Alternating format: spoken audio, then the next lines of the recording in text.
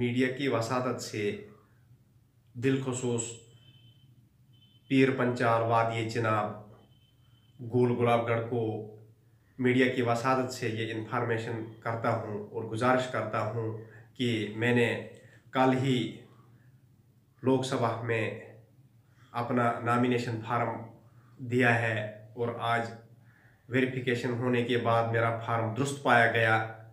तो अल्लाह के फजल करम से मुझे एक मौका मिला है वहाँ पे नामिनेशन देने का और लोगों की खिदमत करने का।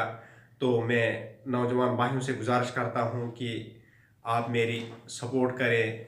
हम वादिय चिनाब खित पीर पंचाल इलाके गोल गुलाबगढ़ की बात को आगे बढ़ाएँ। शिविर साहब आप कौन सी पार्टी से इलेक्शन लड़ रहे हैं? मैं किसी पार्टी से नहीं हूँ मैं आज़ाद उम्मीदवार हूँ।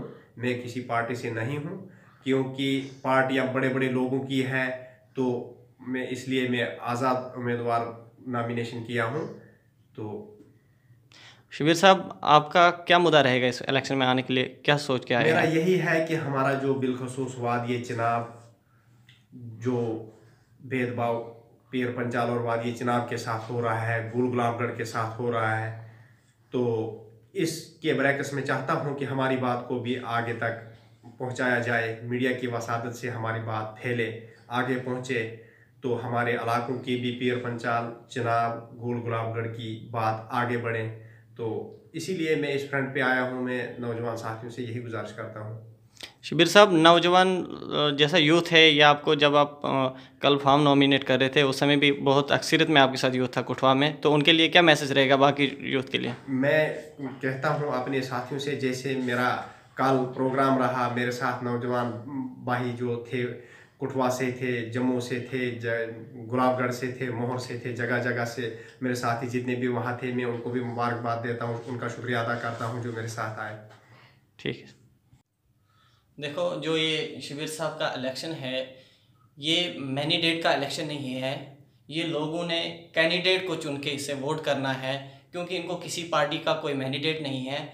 मैनीडेट जो है, वो तो बड़ी बड़ी पार्टियों के दिल्ली से उठ के, वो दिल्ली से फैसले होते हैं। तो इसलिए हम नई दिल्ली से फैसला नहीं कर रहे हैं।